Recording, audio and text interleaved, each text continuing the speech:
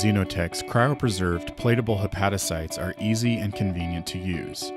Upon completing the thaw and resuspension process, dilute the hepatocytes to the recommended cell concentration using Optiplate media. Gently resuspend the hepatocyte suspension. You are now ready to seed the cells on the culture vessel. For culturing hepatocytes, the culture vessel must have a collagen 1 coating.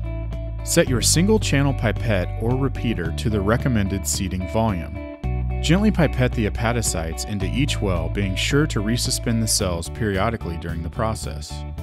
Once the cells are dispensed, place the lid back on the culture vessel and transfer it to a 37 degrees Celsius humidified incubator.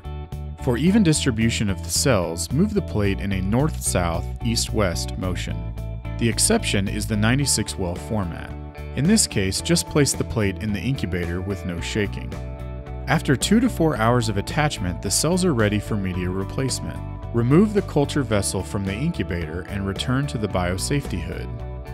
Xenotech recommends a Matrigel overlay for cells being cultured out to 5 days or longer. Matrigel is added to a final concentration of 0.25 milligrams per milliliter to ice cold OptiCulture media. Mix the solution well. Vigorously shake the plate to loosen unattached cells from each well. Tip the plate towards you to aspirate media from each well, being careful not to touch the bottom of the well with the aspirator tip.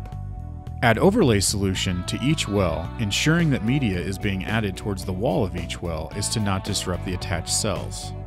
Replace the lid on the culture vessel and return to the incubator.